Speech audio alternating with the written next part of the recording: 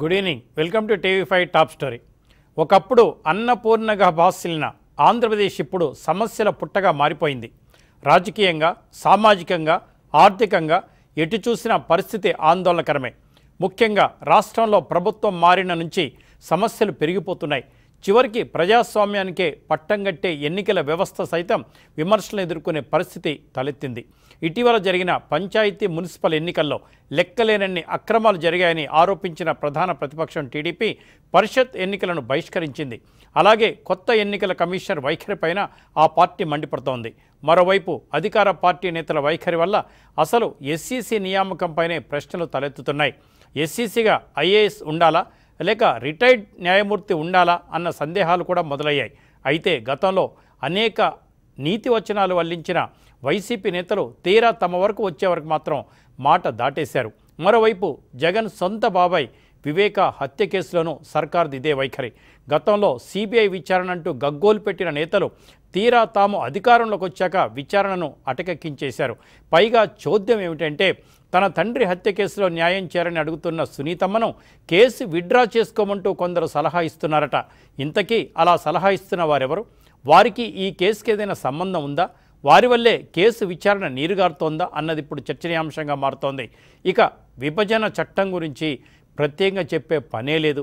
గతంలో అధికారంలో ఉన్న టీడీపీ సర్కార్పై అనేక విమర్శలు చేసిన వైసీపీ అధికారంలోకి వచ్చిన రెండేళ్ళలో ఏం సాధించారంటే జవాబు శూన్యమే. విభజన చట్టంలోని అంశాలను పక్కన పెట్టేసిన కేంద్రంపై కనీస ఒత్తిడి తెచ్చి దాఖలాలు కనిపించడం లేదు. ఇంతకీ వైసీపీ కనబరుస్తున్న ఈ వైఖరికి కారణాలేంటి? ప్రజలకు ఇచ్చిన హామీలు నెరవేర్చకుంటే వారిని మోసం చేసినట్టు కాదా? గతంలో మైకుల్లో ఘనంగా చెప్పుకున్న విశ్వసనీయత అంటే ఇదేనా? ఎన్నికల కమిషన్ ప్రతిష్ట మసకబారడానికి కారకులెవరు? వివేక కూతురు ఆవేదన పట్టించుకునే వారెవరు విభజన చట్టం అమలు కాకపోవడానికి కారకులెవరు? ఇవన్నీ చర్చిద్దాం. సీనియర్ రాజకీయవేత్త సబ్బహరి గారు మనతో ఉన్నారు. ప్రతి అంశంపై సునిశ్చితంగా సూటిగా అభిప్రాయం చెప్పగల దిట్టగా సభహరి గారికి మంచి పేరుంది. రాష్ట్రంలో పరిస్థితులపై సబ్బహరి గారు జరిగింది జరుగుతుంది జరగబోయేది కూడా చెప్పగల ధీరులు వారు ఉన్నారు మనం ఈ రోజున రాష్ట్రంలో అలాగే వీలైతే దేశంలో రాజకీయ పరిస్థితులు కూడా ప్రేక్షకులకు అందిద్దాం. నమస్కారం సభావారి గారు.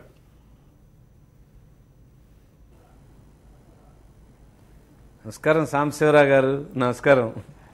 సార్ ఇప్పుడే అంటే తమరితో డిస్కషన్ అయిన తర్వాత నేను టీవీ చూశాను ఇవాళ అన్ని ఛానల్స్ తిరగేశాను. ఏదైనా మంచి సమాచారం దొరుకుతుందేమోనని. గౌతమ్ రెడ్డి గారు రాష్ట్ర పరిశ్రమల శాఖ మంత్రి తెలుగుదేశం పార్టీకి లేదా ప్రతిపక్షాలకు తిరుపతి ఉప ఎన్నికల్లో పోటీ చేసే హక్కు లేదన్నారు. ఎందుకో చెప్పలేదు వారు. ఆ తర్వాత పేర్ని నాని గారు సార్ మంత్రి గారు. వారేమన్నారంటే పవన్ నాయుడు రాజకీయాలకు పనికిరాడన్నారు. నాకు ఒక డౌట్ వచ్చింది సార్. రాజకీయాల్లో రావాలంటే ఆంధ్రప్రదేశ్లో కొత్తగా సిద్ధాంతాలు ఏమైనా వచ్చాయా? అంటే జైలుకి వెళ్ళి ఉండాలి సిబిఐ కేసులు ఉండాలి ఈడీ కేసులు అయి ఉండాలి అక్రమాలు చేసి ఉండాలి అవినీతి చేసి ఉండాలి ఇలా అయితేనే రాజకీయ పార్టీ పెట్టాలి ఇలా అయితేనే పోటీ చేయాలి అన్నది ఏమన్నా కొత్తగా ఏమన్నా జీవో పాస్ అయిందా సార్? నాకు తెలియదు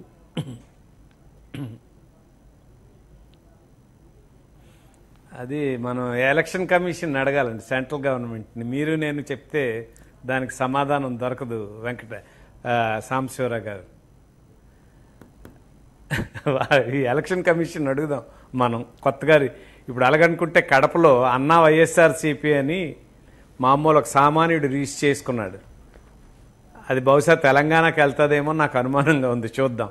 సార్. చెప్పండి సాంబశివరావు గారు. ఎస్ అంటే రెండు విషయాలు మీరు మొదట ఆ సబ్జెక్ట్లోకి వెళ్ళారు ఇక్కడ ఏంటంటే లేదు లేదు లేదు లేదు మీరు అడిగింది చెప్తాను. దానికి ఉపోద్ఘాతం ఏంటంటే వాళ్ళ నాయకుడే నాయకుడు అంటే జగన్మోహన్ రెడ్డి. లేకపోతే ఉపనాయకులు ఒక ముగ్గురు. మనం అనుకుందాం. సుబ్బారెడ్డి ఎప్పుడు పెద్దగా రాళ్ళండి మన విజయసాయి రెడ్డి కానీ లేదా సాక్షి రామకృష్ణారెడ్డి గారు కానీ రెడ్డి కానీ వీళ్ళు ఎప్పుడైనా ఇప్పటికీ చాలా విషయాలు మాట్లాడారు టీవీలు ముందుకొచ్చి అనేక అంశాల మీద అభిప్రాయాలు. మీ ఎజెండాలో ఉన్నవే. ఆయన పవన్ కళ్యాణ్ గురించి పేరు నాన్నగారు. ఎందుకంటే వాళ్ళ గురించి నేను ఎప్పుడు మాట్లాడను టీవీల్లో. వాళ్ళ పార్టీ వాళ్ళ ఇష్టం వచ్చిన కామెంట్లు వాళ్ళు చేసుకొనియండి. మనం వేరేగా డిస్కస్ చేద్దాం. కౌన్సిల్ గురించి ఏం మాట్లాడారు? కనగరాజు నియమించినప్పుడు ఏం మాట్లాడారు?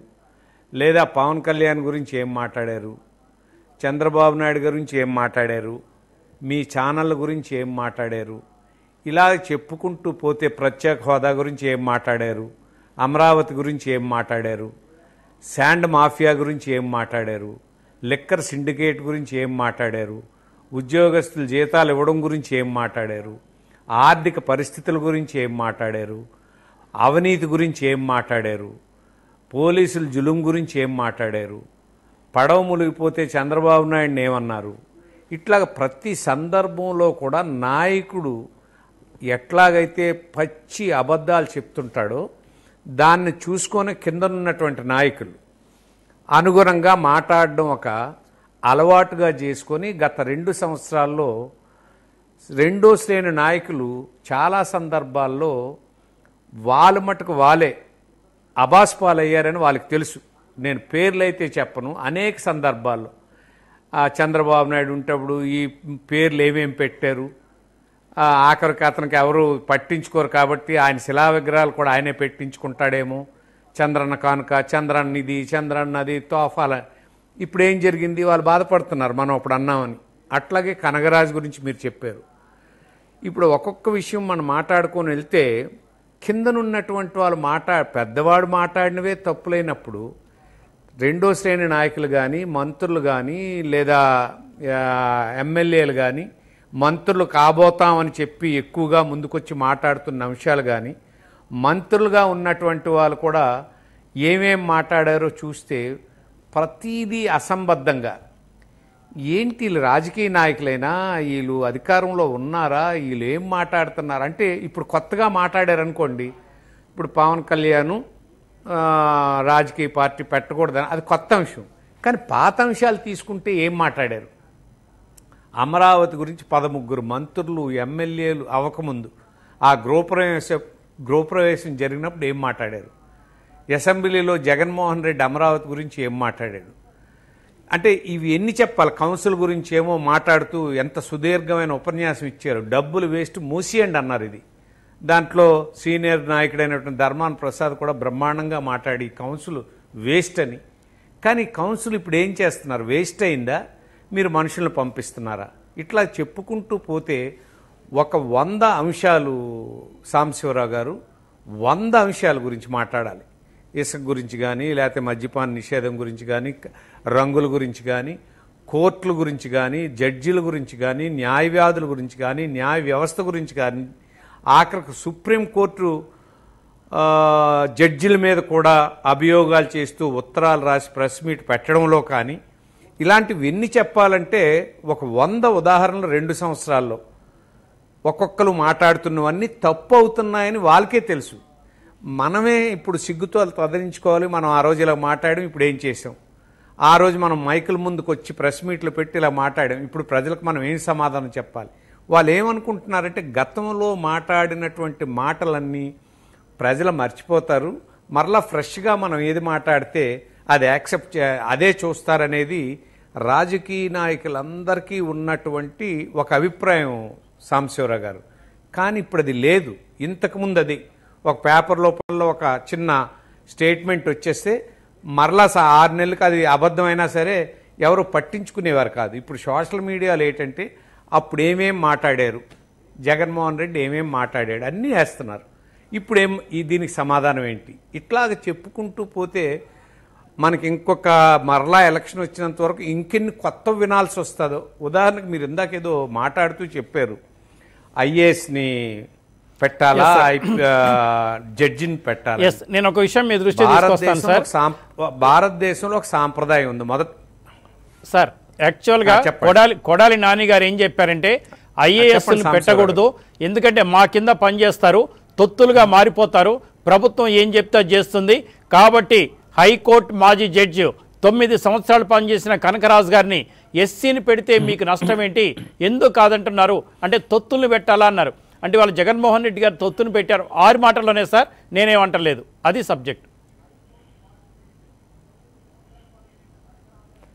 అదే నేనేమంటానంటే ఆ రోజు జరిగిన కనగరాజు నియామకం అప్పుడు బహుశా నేను మీతో మాట్లాడాను వేరే రెండు మూడు ఛానల్లో మాట్లాడాను. ఒకటి ఖచ్చితంగా ఆ రోజు చెప్పాను. అర్ధరాత్రి చెన్నై నుండి అది కరోనా గొడవలో ఉంటప్పుడు డెబ్బై ఐదేళ్ళ వ్యక్తిని తీసుకొని కారులో తీసుకొని వచ్చి ఛార్జ్ ఇచ్చినటువంటి సంఘటన ప్రజలు ఎవరూ మర్చిపోలేదండి. నేను ఒక మాట కూడా అన్నాను. అతను నిజంగా రిటైర్డ్ జడ్జేనా? రిటైర్డ్ జడ్జి అయితే ఇంత దొంగతనంగా రాత్రి మీద వచ్చి సంతకం పెట్టి ఛార్జ్ తీసుకునే కర్మ ఆయనకేం పట్టింది అనేటప్పుడు మీరు మాట్లాడినటువంటి మాటలు అందరూ మాట్లాడారు. ఈ ఐఏఎస్లు ఉండకూడదు. చాలామంది అంటే పేర్లు ఎందుకంటే చెప్పను ఏ రోజు నేను ఏ మంత్రి పేరు కానీ ఒక శాసనసభ్యుడి పేరు కానీ నేను మాట్లాడలేదండి. కారణం ఏంటంటే మనం మాట్లాడిన వాళ్ళకి అర్థమవుతాయి మనమే కదా మాట్లాడామని అందుకని పేరు చెప్ప ఆ రోజు ఏం మాట్లాడారు? సా మన రామకృష్ణారెడ్డి గాని ఏమిటి మీ బాధ? వ్యవస్థను మారుస్తున్నాం. ఐదు సంవత్సరాలు ఉన్నటువంటి ఈ టైంని మూడు సంవత్సరాలకు తగ్గించుకునే హక్కు మా రాష్ట్ర ప్రభుత్వానికి లేదా? నూట యాభై ఒక్క మంది ఎమ్మెల్యేలను గెలిచాం. మేము ఆర్డినెన్స్ తీసుకొచ్చాం. ఆర్డినెన్స్ మీదేమో మా గవర్నర్తో మేము సంతకం పెట్టించగలం. సంతకం పెట్టించారు. మా అదృష్టవశాత్తు అప్పుడు అన్నాను కదా కోర్టులు వాళ్ళకి వ్యతిరేకంగా ఉన్నాయని వాళ్ళు మాట్లాడుతున్నారు కానివ్వండి కోర్టులు ఈ రాష్ట్రంలో ఉన్నటువంటి ఐదు కోట్ల మంది తాలూకా అనేక అంశాలని రక్షిస్తున్న ఆంధ్రప్రదేశ్ కోర్టులు. కో న్యాయస్థానాలు ఖచ్చితంగా ఇలాగ పనిచేస్తాయని ఆంధ్రప్రదేశ్ కోర్టు ప్రూవ్ చేసింది అనేక అంశాల్లో. మేము తీసుకొస్తే జడ్జిని పెడితే ఐఏఎస్లో అంటే ఇక్కడేమో ఐఏఎస్లతో సంతకాలు పెట్టించుకుంటారు. ఐఏఎస్లు పరువు తీస్తుంటాడు. ఈయన ఐఏఎస్ఆ ఈయన ఐపీఎస్ఆ ఇలా బిహేవ్ చేస్తారా అని ప్రజలు అనుకుంటున్న టైంలో వాళ్ళే అంటారు. మేము ఐఏఎస్ని మా దగ్గర పనిచేసినోడేమో బయాస్డ్గా ఉంటాడు కాబట్టి ఒక కొత్త వరవడిని భారతదేశంలో ఏ ముఖ్యమంత్రికి ఇలాంటి ఆలోచన రాలేదు ఏ ప్రధానమంత్రికి ఈ ఆలోచన రాలేదు. మోడీ లాంటి ముఖ్యమంత్రి గుజరాత్లో ఉంటప్పటికి ఆయనకి రాలేదు. చంద్రబాబు నాయుడు లాంటి సీఎం ఇక్కడ ఉంటప్పుడు రాలేదు. జయలలిత కరుణానిధి లాంటి ముఖ్యమంత్రులు ఉంటప్పుడు కూడా రాలేదు. కాంగ్రెస్ పార్టీలో ఉన్నటువంటి మేధావులైనటువంటి ముఖ్యమంత్రులు ఉంటప్పుడు ఎవరికీ రాలేదు. న్యాయ వ్యవస్థను న్యాయాధిపతిని రిటైర్డ్ న్యాయమూర్తిని తెచ్చిపెట్టి ఒక కొత్త మెసేజ్ని ఇచ్చామని గర్వంగా చెప్తే అవకాశం వాళ్ళకే వచ్చింది. ఇది ఇంతకంటే సాక్ష్యం ఇంకోటి ఏమీ లేదు సాంబశివరావు గారు. ఎలాంటి సాక్ష్యం? వాళ్ళు ఉంటుండగానే ఎవరినైతే ఐఏఎస్ని తోలనాడారో ఎవరైతే జడ్జిని పెడతామన్నారో ఐఏఎస్ని తీసి పారేయాలని అన్నారో వాళ్ళకి అవకాశం వచ్చింది. పోనీ చంద్రబాబు నాయుడు గవర్నమెంట్ ఇక్కడికి వచ్చిందనుకోండి మేమైతే మళ్ళీ జడ్జినే తెచ్చుండేవాను చంద్రబాబు నాయుడు చూడండి మళ్ళీ ఐఏఎస్ని తన తొత్తుని తెచ్చుకున్నాడు అనుకోవాలి. మీరేం మాట్లాడారు? మీకు అవకాశం వచ్చింది. ఎవరిని? ఎస్సీసీని నియమించే అవ- అవకాశం. ఎందుకండి ఈ మాటలన్నీ ఏమయ్యాయి? అయిపోయావా? అంటే మూడు నెలల్లోని ఈ మాటలన్నీ పోయావా? మీకు అవకాశం రాగానే ఇంకా నీలం సాహని గురించి మనం చెప్పవసరం లేదు. హైకోర్టు కూడా పిలిపించారు. ఎన్ని సంతకాలు నేను ఒకసారి మాట్లాడాను కూడా. అసలు ఈవిడ సంతకాలు పెట్టుకుంటా మానేసి వెళ్ళిపోతే ఆవిడకి ఏమైంది? రిటైర్ అయ్యి ఇంటికి వెళ్ళిపోద్ది అంతే కదా. ప్రతి దాని మీద సంతకాలు పెట్టి మన రాష్ట్రాన్ని నాశనం చేస్తున్నదామని నేను ఒక సందర్భంలో మాట్లాడాను. ఇప్పుడేమైంది? ఎస్సీసీ రమేష్ కుమార్ లాంటి ఫైటింగ్ నేచర్ ఉండి కొంచెం నిలబెట్టాలి ప్రజాస్వామ్యాన్ని ప్రయత్నం చేసి గవర్నర్ ఆర్డినెన్స్ కూడా వ్యతిరేకంగా హైకోర్టుకి వెళ్ళి సుప్రీంకోర్టుకి వెళ్ళి కోర్టులు ఖర్చు పెట్టి ఆర్డర్ తీసుకొని వస్తే తనకి చేతనైనంత చెయ్యగలిగినంత ఇంత దుర్మార్గ ప్రభుత్వం ఉన్న జులుం డబ్బులు ఖర్చు పెట్టి పోలీసులు జులుమును పెట్టి ఎలక్షన్ నడిపిస్తుంటే ఎక్కడికక్కడ ప్రయత్నం చేసినా ఆఖరణ ఏం చేశాడు? ఈ వ్యవస్థలో కొంతైనా నేను కాంప్రమైజ్ అయ్యి ఎలక్షన్ ముగించుకొని ఇక్కడ నుండి వెన్- ఎంత వేగం దేవుడికో దండం పెట్టుకొని సెలవు తీసుకుని వెళ్ళిపోదామని ముగించినట్టుగా నాకు అనిపించింది ఎలక్షన్లో. ఎందుకంటే అంతకంటే కఠినంగా వ్యవహరించడానికి అతను ఎవరూ సహకరించలేదు. మీ స్క్రీన్లో కనిపిస్తున్న ఆ రోజు ఆ సీఏ సిఎస్ కూడా ప్రజెంట్ సిఎస్ కూడా మీటింగ్కి రాకుండా మెయిల్ పెట్టాడు. ఎక్కడో ట్రాఫిక్లో జామ్ అయిపోయానని. అలాంటి హ్యూమిలేషన్ గురి చేసి నడిపించినటువంటి ఈ ప్రభుత్వంలో మొన్నటి వరకు ఆయనకు తొత్తుగా ఉండి ఎక్కడ సంతకం పెట్టమంటే అక్కడ సీఎస్ సంతకం పెడుతున్నామే. రిటైర్ అయిన తర్వాత మరలా ఆ అమ్మాయినే ఆమెనే ఈ ఎలక్షన్ ఈ స్టేట్ ఎలక్షన్ ఎస్సీసీగా నియమించారనంటే వాళ్ళ తాలూకు ఆలోచనలు ఎంత జుగుప్సాకరంగా ఉంటాయి నీతులు ఎంత బాగా చెప్తారు అవకాశం వచ్చేటప్పుడు ఏం చేస్తారని చెప్పడానికి నీలం. సాహ్ని తాలూకా నియామకం ఎస్సీసీగా నియామకం ఈ ప్రభుత్వం తాలూకు ఉద్దేశాన్ని తెలియజేస్తుంది. చెప్పండి సాంబశివర్ గారు రైట్. లేదు ఓ- చిన్న చిన్న బ్రేక్ తీసుకొని మళ్ళీ మీ దగ్గరకు వద్దాం సార్. టాప్ స్టోరీలో ఒక చిన్న బ్రేక్ తీసుకుందాం.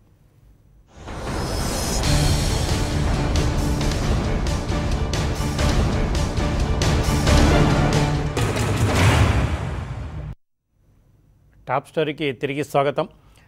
ఎస్సీసీ నిమ్మగడ్డ రమేష్ కుమార్ గారు ఉన్నప్పుడే ఏం జరిగిందో చూశాం.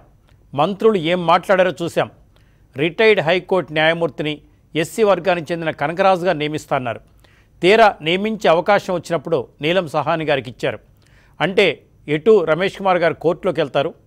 మనం ఆయన మీద ఒక ఎస్సీని ప్రయోగిద్దాం అనుకున్నారు. తీరా అవకాశం వచ్చినప్పుడు మాత్రం ఇవ్వలేదు. ఇదే మాట తప్పడం మడమ తిప్పడం అంటే. విశ్వసనీయత లేకపోవడం అంటే ఇదే. వైఎస్ రాజశేఖర రెడ్డి గారికి వారి వారసులకు ఉన్న తేడా ఇదే. కాబట్టి వైఎస్ రాజశేఖర రెడ్డి గారికి రక్త సంబంధం ఉన్న వారసులు కావచ్చు. రాజకీయ వారసులు కాదు వీళ్ళు. ఇక మిగతా విషయాలు కూడా సబ్బహరి గారిని అడిగి తెలుసుకుందాం. సార్. సాంబశివరావు గారు దీని గురించి ఇంకొక లైన్ చెప్పి యా. ఎస్సీసీ గురించి ఒక లైన్ చెప్పి ముగిద్దాం ఆ సబ్జెక్టు. కనీసం ఇప్పుడు మీ- మీరు అన్నారు చూసారా విశ్వసనీయతని.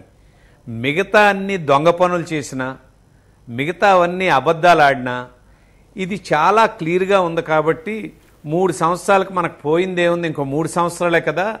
ఎలక్షన్లు మా జమిలి ఎలక్షన్స్ రాకపోతే మనం మూడు సంవత్సరాలు ఉంటాం కదా.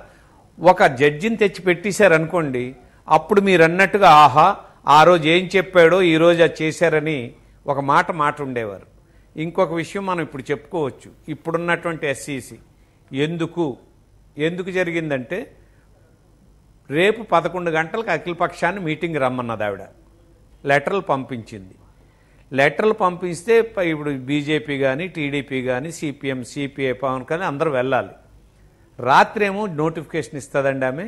వీళ్ళని పిలిచి మీటింగ్కి రాత్రేమో ఎలక్షన్ నోటిఫికేషన్ ఇస్తుందా? ఎందుకు? మూడు రోజులు సెలవు ఉంది కాబట్టి. ఎందుకు మీకు చెప్తున్నానంటే ఇక వాళ్ళు ఏం చెయ్యాలనుకుంటే అక్కడ సంతకం పెట్టడం తప్పించి ఈమె ఒక ఎస్సీసీగా ఖచ్చితంగా ఏమి ఇండివిజువాలిటీ ఉండదు. ఐఏఎస్ తను చదువుకున్నదంతా పోయినట్టే. చీఫ్ సెక్రటరీతో పోయినట్టే. ఇక్కడేమో ముద్ర ఏమంటే వేయడమే కనీసం ఇప్పుడైనా సరే ఎవరైతే మీరు మొన్న ఇందా చెప్పారు చూసారా మాట్లాడినటువంటి వాళ్ళందరూ వాళ్ళు ఒక్కసారి ఆయన దగ్గరికి వెళ్ళి అన్న ఇన్నాళ్ళకి మనకు అవకాశం వచ్చింది మనం అంత చేసాం ఇలాంటప్పుడు ఈ పని చేస్తే మనకి ముఖ్యమంత్రికి ప్రభుత్వానికి మాకు మైకుల ముందు వెళ్ళి గొంతులు చించుకొని ఇష్టం వచ్చినట్టు మాట్లాడాం రమేష్ కుమార్ కనగరాజు నియామకం గురించి. మా పరువు పోతుంది అందు గురించేనే సరే ఒక రిటైర్డ్ జడ్జిని తెచ్చి పెట్టండి అన్నగారు అని అడిగి ఉంటే వాళ్ళు సంతోషించుండో. ఇప్పుడు ఇంక మాట్లాడరు. ఆ విషయం ఇంకెవరూ మాట్లాడరు. అంటే ఇది ఎందుకు చెప్తున్నానంటే మీరు ఆ- ఆల్రెడీ అది చెప్పారు విశ్వసనీయతని. అవకాశం వస్తేప్పుడు. అందుకని ఇంక దాని గురించి ఎస్సీసీ గురించి ఏమి జరిగినా జగన్మోహన్ రెడ్డి ప్రభుత్వం ఏం చేయమంటే అక్కడ సంతకం పెట్టడానికి ఎస్సీసీ తప్పించి ఇక ప్రతిపక్షాలు ఏమి కంప్లైంట్ చేసినా ఏం అన్యాయం జరిగిందని చెప్పినా యాక్షన్ తీసుకునే పరిస్థితి ఆమెకు ఉండదు కాబట్టే బహుశా వీళ్ళు ఆ నిర్ణయం తీసుకొని పక్కకి వెళ్ళి ఉంటారని నేను అనుకుంటున్నాను చెప్పండి సాంబశివరావు గారు నెక్స్ట్ ఇక రెండో విషయం. ఆ దాని వరకు అక్కడతో ఆపుదాం ఇంకా. ఎస్ సార్ రెండో చెప్పండి విషయం. సాంబశివరావు. ప్రధాన ప్రతిపక్షం తెలుగుదేశం పార్టీ మండల ఎన్నికలను పరిషత్ ఎన్నికలను బాయ్కాట్ చేసింది. ఎందుకంటే దానికి స్పష్టంగా చెప్పారు. పోలీసులతో ఓ- పోలీసులతో ఇబ్బంది పడుతున్నారు. కార్యకర్తలను కాపాడుకోవాలంటే కష్టంగా ఉంది. నాయకుల్ని బెదిరిస్తూ ఉన్నారు. నానా రకాల కేసులు పెడతా ఉన్నారు. ఏ ఎన్నికలైతే ఏకగ్రీవం అయినాయో అవన్నీ క్యాన్సిల్ చేసి మొదటి నుంచి నోటిఫికేషన్ ఇస్తే మేము పాల్గొంటామని చెప్పారు. జనసేన నాయకులు బీజేపీ నాయకులు కూడా అనేక సార్లు మన టీవీ ఫైవ్ డిబేట్లో స్పష్టంగా చెప్పారు. ఈ ప్రభుత్వం అనుసరిస్తున్న విధానాలకి మేము విసిగి వేసారిపోయాం అరాచకాలను తట్టుకోలేకపోతున్నామని చెప్పారు. కానీ తీరా నో సరే వీరు కూడా హైకోర్టులో నోటిఫికేషన్ కావాలని చెప్పి వేశారనుకోండి హైకోర్టులో ఇంకా సరే డిసిషన్ రాలేదు. సాంశివ- సా- యా. సాంబశివరావు గారు ఒక్క విషయం ఏంటంటే ఆహా సాంబశివరావు గారు మనం ఎన్ని మాట్లాడుకున్నా పోలీసులు డబ్బు జగన్మోహన్ రెడ్డి ప్రతిపక్షంలో ఉంటప్పుడు జగన్మోహన్ రెడ్డి నంద్యాల కనక కాకినాడ ఎలక్షన్ జరిగినప్పుడు ఆయన మాట్లాడినట్టు వీడియో ఒకసారి చూడండి చంద్రబాబు నాయుడు ఈ బై ఎలక్షన్లో గెలిస్తే ఏమిటి బలుపు అనుకుంటున్నాడా? అది బలం అనుకుంటున్నాడా? అధికారంలో ఉన్నాడు కాబట్టి డబ్బులు ఖర్చు పెట్టి గెలిచాడు. ఎలాగైనా అతను ముఖ్యమంత్రి పదవి పోదు కాబట్టి ఇంకో సంవత్సరం తర్వాత మందే ఇప్పుడు ఈ ఓటమిని మనం ఎదుర్కోలేకపోయాం అన్నాడు. ఇప్పుడు అది కూడా అనుకుందాం. చంద్రబాబు ఇప్పుడు అతను అదే చేశాడు అనుకుందాం. అప్పుడు చంద్రబాబు నాయుడు చేశాడని ఆయన అంటుందే. కానీ చంద్రబాబు నాయుడు ఇలాగ పోలీసులను పెట్టి ఇళ్ళలకు పంపించి పార్టీకి పనిచేస్తున్నటువంటి వాళ్ళందరినీ నీ రేషన్ కార్డు తీసేస్తాను నీ పెన్షన్ తీసేస్తాను నీ ఇంటి స్థలం క్యా- క్యాన్సిల్ చేస్తాను. నీకు అంటే ఏవేవైతే ప్రభుత్వం దగ్గర నుండి వస్తున్నాయో అవన్నీ రద్దు చేస్తానని ఎవడు ఇంటింటికెళ్ళి చెప్పి కార్డులు తీసుకోలేదండి. ఇంకా డబ్బు గురించి చెప్పనవసరం లేదు. అయితే దీన్ని సాగ్గా చూపి వెళ్ళిపోవాల్సినటువంటి అవసరం తెలుగుదేశం పార్టీకి లేదని నేను భావిస్తున్నాను. ఎందుకంటే అతను అలాగే చేస్తాడు. కాకపోతే ఇక్కడ వెళ్ళిపోవడానికి పైకి తప్పుకోవడానికి కారణం ఏంటంటే వీటిని కూడా తట్టుకుందాం. ఇవి తప్పో రైటో మనం చెప్పాల్సింది ఎస్సీసీకి. ఎస్సీసీ డెసిషన్ తీసుకొని పోలీసుని కానీ జిల్లా కలెక్టర్లను కానీ సా దీన్ని సక్రమంగా జరగడం కోసం ప్రయత్నం చేస్తాదనే నమ్మకం ఆమె కలిగించితే వీళ్ళు ఎలక్షన్లో ఉండాలండి. ఎప్పుడైతే ఎస్సీసీ నియామకం అవగానే రేప్ మీటింగ్ అని ఈరోజే ఈ నోటిఫికేషన్ ఇచ్చిందంటే వీళ్ళు కోర్టుకు వెళ్ళారు అది వేరే విషయం. అంటే ఇక్కడ ఎస్సీసీ తాలూకా మైండ్ సెట్ ఏతో ప్రతిపక్షాలు స్పష్టంగా తెలిసిపోయింది. సరే మనం పోలీసులతో యుద్ధం చేద్దాం. డబ్బులు ఖర్చు పెడితే ఖర్చు పెట్టినాయి మన కార్యకర్తలందరూ ఎలక్షన్లో నిలబడడానికి సంవత్సరం సంవత్సరం క్రితమే నామినేషన్స్ వేశారు. బీఫార్మ్ ఇచ్చేసాం. ఆ రోజు కోవిడ్ వచ్చేటప్పుడు వీళ్ళందరూ లక్షలు ఖర్చు పెట్టి ఎలక్షన్ కాదండి మానవతా దృక్పథంతో. ఇటు వైకాపా వాళ్ళు కానివ్వండి వాళ్ళు కానివ్వండి ప్రతి ఇంటికి లక్షలు ఖర్చు పెట్టారు. కూరగాయలు ఇచ్చారు బియ్యం ఇచ్చారు. ఎన్నో సౌకర్యాలు అందించి ఎలక్షన్ వస్తే మనం నిలబడతామని ఆశతో ఉన్నారు. మళ్ళీ ఐదేళ్ళు మనం ప్రజాప్రతినిధులుగా ఉండాలని. ఎప్పుడైతే ఎస్సీసీ రాత్రి రాత్రే నోటిఫికేషన్ ఇచ్చిందో ఇంకా మనం ఎవరితో మరపెట్టుకోవాలి? ఆ- ఆ స్థానంలో ఉన్న వ్యక్తే ఇలాగ వన్ సైడ్గా వెళ్తుంటే ఇప్పుడు మనం ఏం చేసినా ఉండవని వాళ్ళు తీసుకున్న నిర్ణయం రైట్ అనే నేను అనుకుంటున్నాను. కానీ కార్యకర్తల్లో మాత్రం సెవెంటీ థర్టీ ఉందండి. ఒక సెవెంటీ పర్సెంట్ మాత్రం అంటే సమర్థించినట్టు కనిపిస్తున్నారు. థర్టీ పర్సెంట్ లేదు ఎలక్షన్లో నిలబడి తేల్చుకోవాలని. నాయకుల్లో కూడా అది ఉన్నట్టుంది. బట్ ఈ ఎస్సీసీ ఉంటప్పుడు ఎవరైతే సరిదిద్దాలో ఎవరైతే కాంపిటెంట్ అథారిటీయో ఆ కాంపిటెంట్ అథారిటీయే ఆ ఆ రోల్లోకి వెళ్ళిపోయినప్పుడు రిజిస్టర్ రోల్లోకి. ఇంకా మనం చేసేది ఏం లేదని వీళ్ళు తప్పుకున్నారు. డబ్బులు ఖర్చు పెట్టడం అధికారం పోలీసులు రుబాబు ఇందాక ఎవరో నాకు పంపించారండి. సర్పంచ్ని గెలిపించాడని వైకాపా సర్పంచ్ ఓడిపోయాడు ఆ ఊర్లో ఇనపరాడ్లు పట్టుకొని కొడుతున్నారండి వైకాపా క్యాడర్. నాకు ఫేస్బుక్లో ఎవరో పంపించారు. వీలొదిలేయండి. పోలీసుల కంటే కూడా ఆ పార్టీ క్యాడర్ కూడా అలాగే తయారైంది ఈ ధైర్యాన్ని చూసుకొని. ఎందుకంటే ఇలాంటి జరిగినప్పుడు ఎవ్వరూ యాక్షన్ తీసుకోవట్లేదు. కంప్లైంట్ ఇచ్చినా యాక్షన్ తీసుకోవట్లేదు. దాన్నేమో నాన్పించడం. సరే వాళ్ళకి ఇష్టం లేకపోయినటువంటి కేసుల్ని ఎలాగ నాంచగలరో అనేక ఉదాహరణలు ఈ రాష్ట్రంలో ఉన్నాయి. సో ఎలక్షన్ దీని వరకు వాళ్ళు ఇప్పుడు చేతులు ఎత్తి ఎత్తియడం అంటే భయపడి మాత్రం కాదు. కేవలం ఈ ఈసీ వచ్చిన తర్వాత ఐ మీన్ ఎస్సీసీ వచ్చిన తర్వాత సరే ఆ ప్రభుత్వం అధికారం యంత్రాంగం ఇక్కడ మా వైజాగ్లో మూడింటికండి ఒక అంటే ఇప్పుడు అసం అసందర్భం ఓడిపోయిన తర్వాత ఎవరు మాట్లాడినా తప్పే. ఒక అమ్మాయి గెలిచింది ఒక వార్డులో అమ్మ నువ్వు గెలిచావు మేమేం చేయలేం నువ్వు ఓడిపోయినట్టు డిక్లేర్ చేస్తున్నావు అని ఆఫీసర్లు చెప్పి ఒకసారి ఏం సీసీ కెమెరా ఈ ఆపేసి డిక్లేర్ చేసి మళ్ళీ ఆన్ చేశారు. సో అలా ఎలాంటివి? అంటే మొత్తం అన్నాను కాదు ఒక ఐదారు ఇన్సిడెంట్లు అలా చేశారు వాళ్ళకి కావాల్సిన చోట. మీరు అనుకుంటున్నారు ఇంకా పోలీసులు డబ్బులు అనుకుంటున్నారు. ఈ ఇవి ఇంకా దుర్మార్గాలు చేశారు చాలా విషయాలు. మీకు ఒక్క విషయం ఈ ప్రభుత్వం తాలూకా మైండ్ సెట్ గురించి ఒక ఎగ్జాంపుల్ చెప్పి ఈ ఎలక్షన్స్ గురించి ఆపేద్దాం సాంబశివరావు గారు. మొత్తం రాష్ట్రం అంతా డబ్బుతో అధికార జులుంతో లేకపోతే వాళ్ళన్నట్లుగా ప్రజలందరూ వైకాపా పక్షానికి వచ్చి ఓట్లేసి మాకు ప్రజాభిప్రాయం ఉంది. ఈ రాష్ట్రం అంతా జగన్మోహన్ రెడ్డి నాయకత్వంలో ఇలాంటి గొప్ప ముఖ్యమంత్రి లేడని మాకు ఓట్లేశారు. దెబ్బతో చంద్రబాబు నాయుడు తోక ముడుచుకొని పారిపోయాడని వాళ్ళన్నట్టే మనం ఒప్పుకుందాం. ఎస్ యాక్సెప్టెడ్ కానీ ఇలా జరిగినప్పుడు ఒక్క జేసీ ప్రభాకర్ రెడ్డి ఇన్ని మున్సిపాలిటీల్లో ఒక్క మున్సిపాలిటీ గెలిస్తే మైదుకూరులో ఒకటి గెలిస్తే దీన్ని కూడా మేము గెలవడానికి వీలు లేదని మూడు వేల మందిని పోలీసులు పంపించి అనంతపూర్లో ఆ మార్చి చేసి అక్కడేమో మైదుకూరులోనేమో ఒక కార్పొరేటర్ని ఎత్తుకెళ్ళిపోయి చేశారంటే ఏమనుకోవాలండి? సపోజ్ ఇప్పుడు ఒక వంద మున్సిపాలిటీలు ఉన్నాయి. తొంభై ఐదు మీరే గెలిచారు.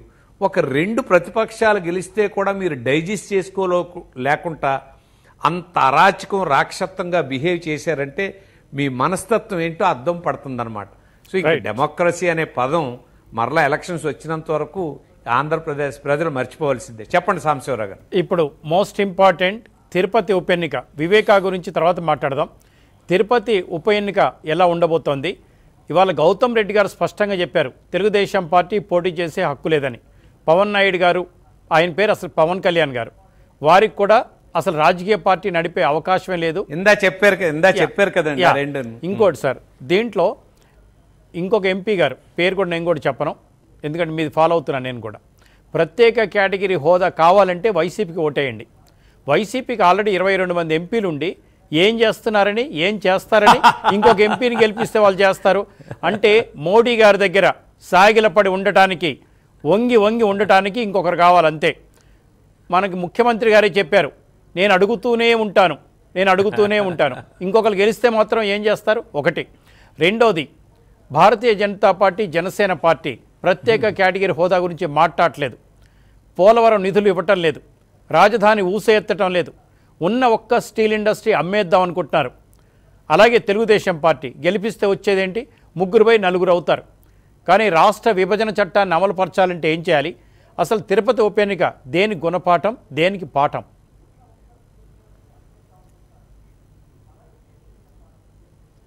ఈ నేను ఇప్పటికీ అనుకుంటాను సాంబశివరావు గారు చాలామంది చాలా ఆశలు పెట్టుకొని ఉన్నారు. ఈ ఎలక్షన్స్ ఏవో ఆంధ్రప్రదేశ్ రాజకీయ ముఖ చిత్రాన్ని మార్చేస్తాయి. ఈ వ్యతిరేకత అంతా కనిపిస్తుంది. జగన్మోహన్ రెడ్డి ముఖ్యమంత్రిగా దిగిపోతాడు. ఈ దెబ్బతో పని అయిపోయినట్టేనే తెలుగుదేశం వాళ్ళు.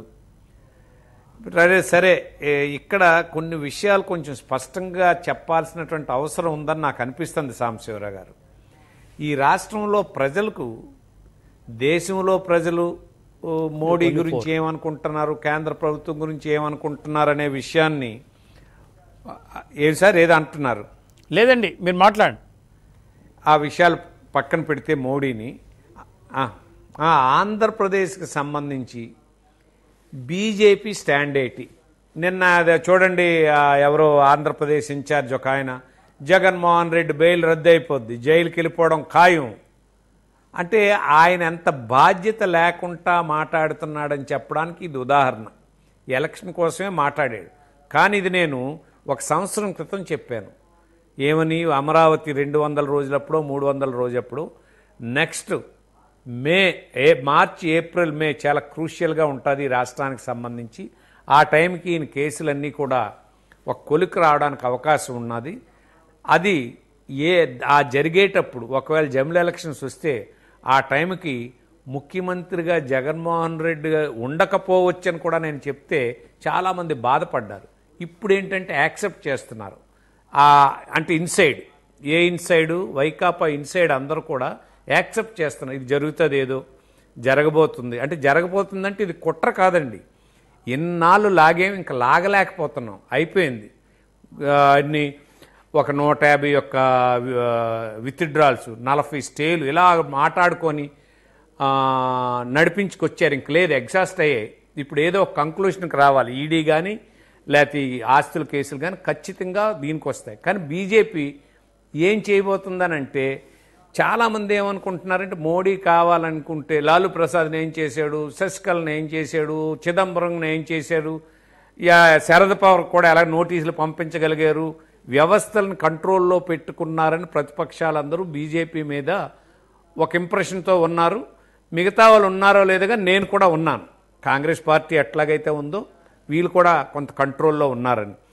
మరి ఇంత దుర్మార్గం జరుగుతుంటే ఈ రాష్ట్రంలో అమరావతి లేకుండా రాజధాని లేకుండా పోలవరం లేకుండా చట్టంలో ఏవైతే విభజనప్పుడు మనకు ఏమేం కావాలో? పక్క రాష్ట్రంతో ఉన్నటువంటి మనకు ఫిఫ్టీ వన్ పర్సెంటో ఫార్టీ వన్ పర్సెంటో మనకి అప్పు చెప్పకుండా వీళ్ళు అడగకుండా వాడు లేకుండా చేశాడా పక్కనున్న రాష్ట్రం అడగకుండా చేస్తే ఈయన దాన్ని ఒప్పుకున్నాడా ఈయనకున్నటువంటి ఆబ్లిగేషన్స్తో ఆయనతో యుద్ధంకి వెళ్ళలేకపోతున్నాడా లేకపోతే పోలవరాన్ని కూడా పది అడుగులు తగ్గించడానికి యాక్సెప్ట్ చేశాడని అనుకుంటే అంత సీ సీక్రెట్గా చాలా చాలా ఒడంబడికలు జరుగుతున్నాయండి. ఈ చాలా ఒడంబడికలు జరుగుతున్నాయని నేను నమ్ముతున్నాను. సో బీజేపీ స్టాండ్ ఏంటి? అనేది ఆంధ్రప్రదేశ్ ప్రజలు ఈరోజు బీజేపీ ఇక్కడ పాదం మోపలేకపోవడానికి ప్రధాన కారణం ఎక్కువ మంది ఎవరైతే జగన్మోహన్ రెడ్డికి వ్యతిరేకం జగన్మోహన్ రెడ్డి ప్రభుత్వానికి వ్యతిరేకంగా ఉన్నారో వాళ్ళ అభిప్రాయం ఏంటంటే మోడీ ఎందుకు ఏం చేయట్లేదు? ఇదే చర్చిల్లో కూర్చున్నారనుకోండి మోడీ ఎందుకు చేస్తాడండి? లాటే అది చట్టం తన పని చేసుకొని పోతుందని చాలా బాగా మాట్లాడుతుంటాం అందరం. ఆగడానికి జరిపించడానికి కావలసిన శక్తిమంతుడు ఇవాళ స్టాలిన్ మాట్లాడింది విన్నారు కదా.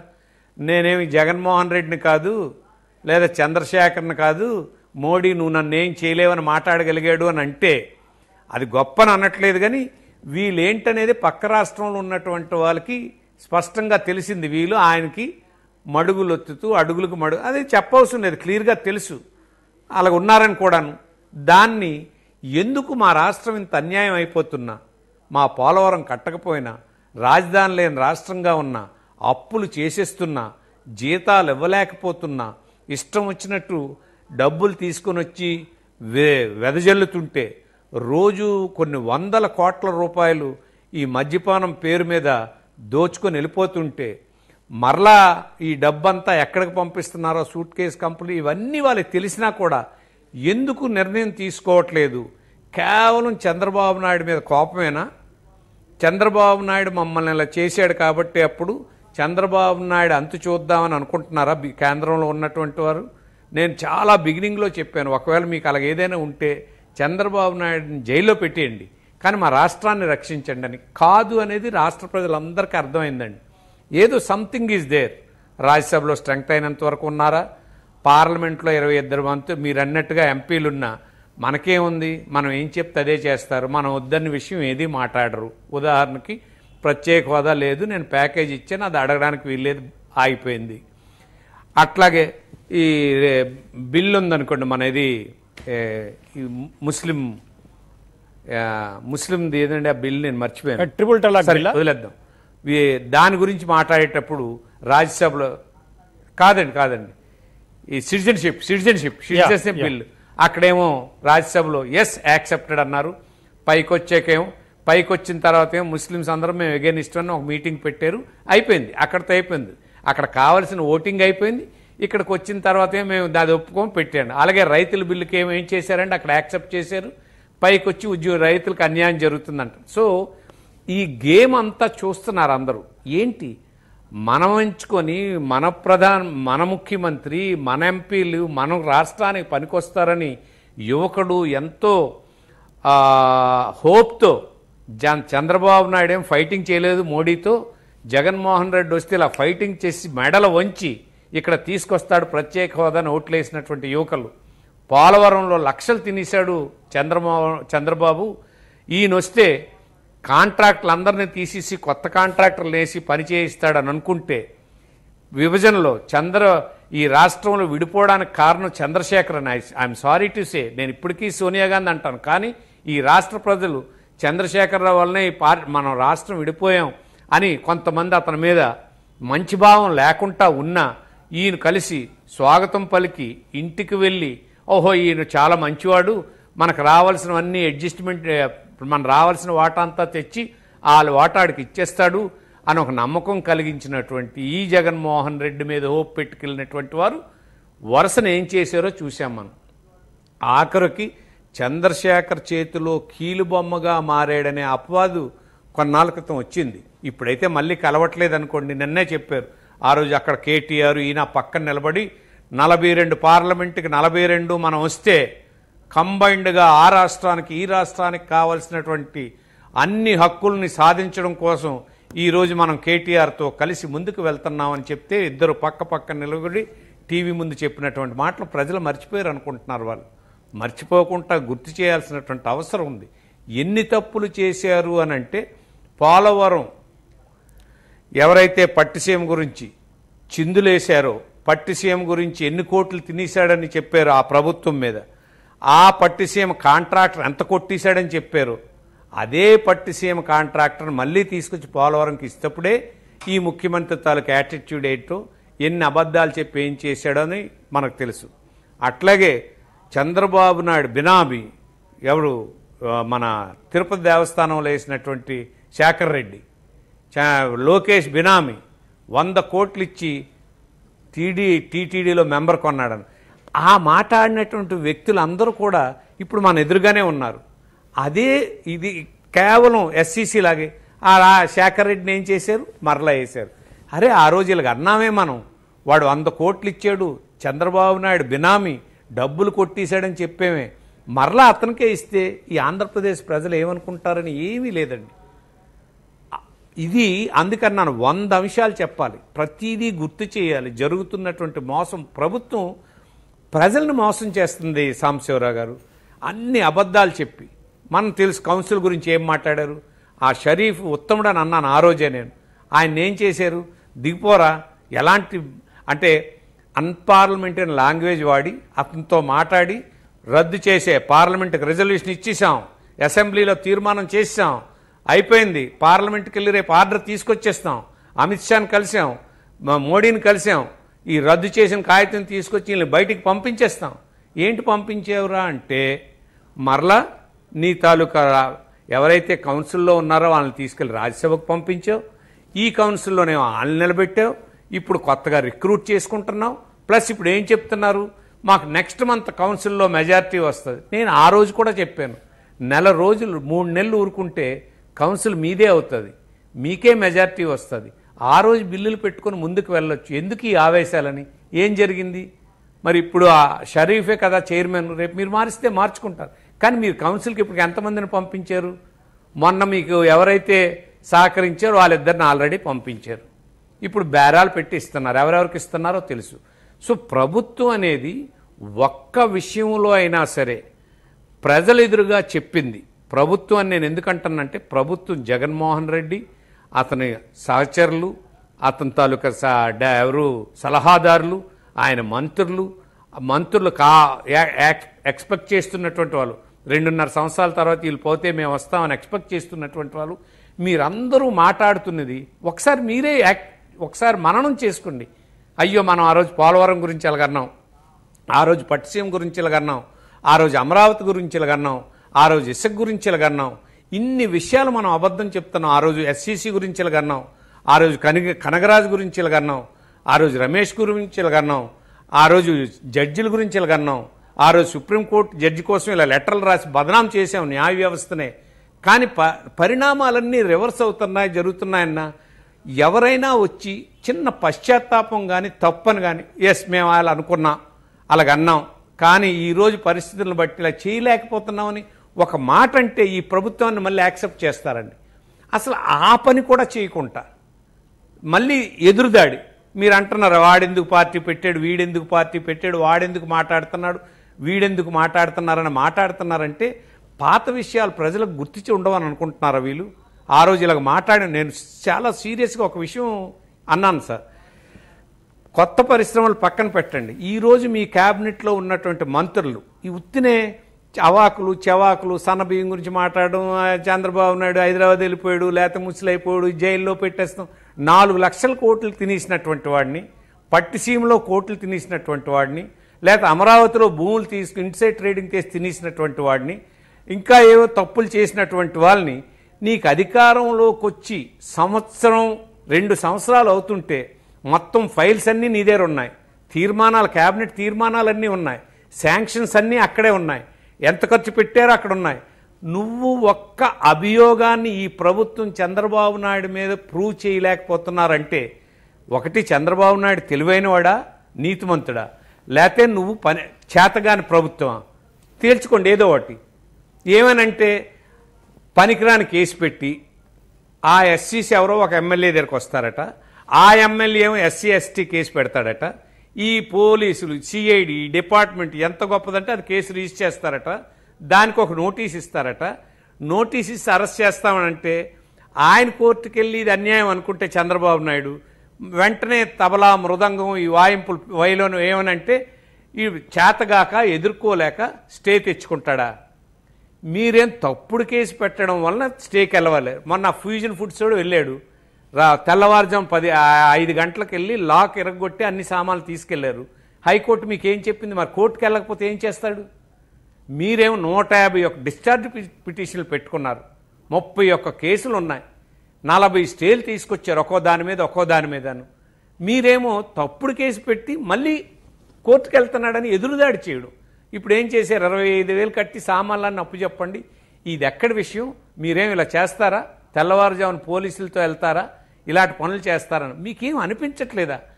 అయ్యో మనం ఎందుకు ఇంత అన్డెమోక్రటిక్గా అప్రజాస్వామ్యంగా మనకు పడకపోయినంత మాత్రాన్ని ఇలాంటి పనులు చేయొచ్చా? చేయకుంటుంటే మంచిది కదని ఒక ఆలోచన. మీ మొత్తం టీంలో ఒక్కడికైనా ఉందా అంటే లేదు. ఎవరు చెప్పడా ఉన్నా చెప్పడానికి సాహసించరు. నేను చెప్పిందే వేదం. నాకు నూట యాభై ఒకటి. ఈ నూట యాభై ఒకటి నేనేమైనా చేయగలను? కనకరాజుని చేయగలను? పోలవరం ఆపేయగలను? అమరావతిని వీటి గురించి కాకుండా నా ప్రత్యేక హోదా గురించి మాట్లాడతాను. నా రా విడిపోయినప్పుడు విభజన ప్రకారం రావాల్సినట్టు నా వాటాల గురించి మాట్లాడతాను. ఈ రాష్ట్రానికి కొత్త ఇండస్ట్రీస్ తీసుకొస్తాను. ఈ రాష్ట్ర ప్రజలకు భవిష్యత్తును ఏర్పరుస్తాను అనే దాని మీద మీరు బుర్ర పెట్టండి. మీరు ఆలోచన అటు పక్క సాగించండి.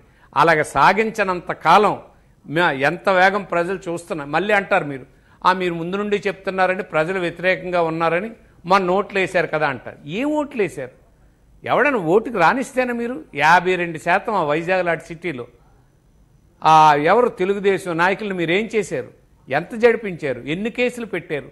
ఎవరిని బయటకు రాకుంటే ఏం చేశారు? సో ఎంద- ఇక్కడ నుండి డీవేట్ అయ్యాను సాంబశివరావు గారు.